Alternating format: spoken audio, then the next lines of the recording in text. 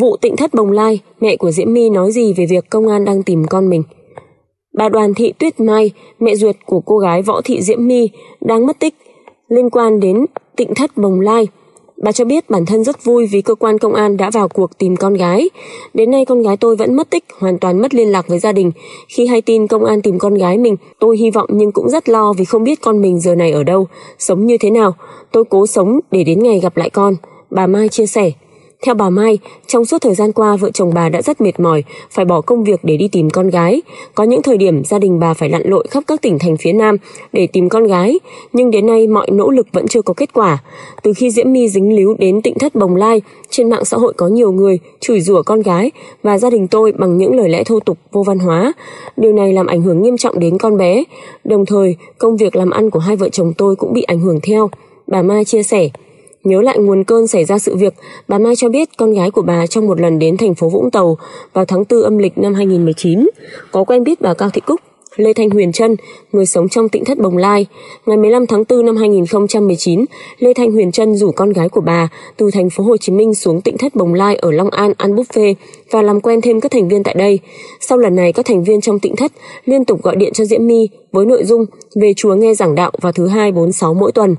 Con tôi có xin đi xuống tịnh thất một tuần ba bữa, khi đi còn đem sữa theo để cho các chú tiểu ở đó. Tôi nghĩ con mình nó đi làm việc tốt, nên cứ để cho nó đi.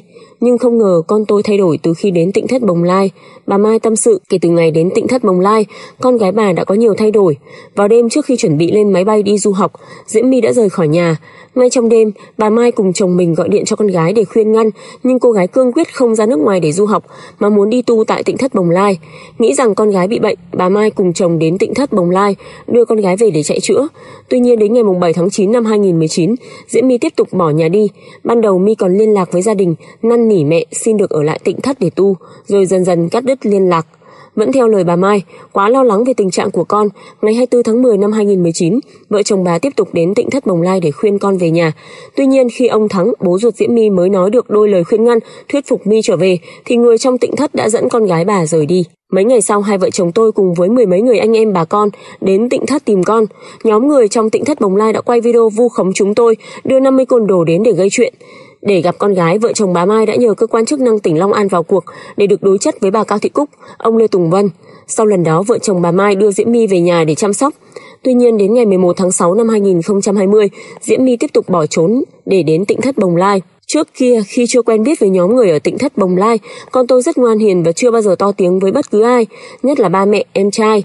Thời gian sau khi về nhà, tháng 6 năm 2020, Diễm My tiếp tục bỏ trốn đến tỉnh thất và có những biểu hiện bất thường như quay clip tung lên mạng chửi cha mẹ, vu khống loạn xạ.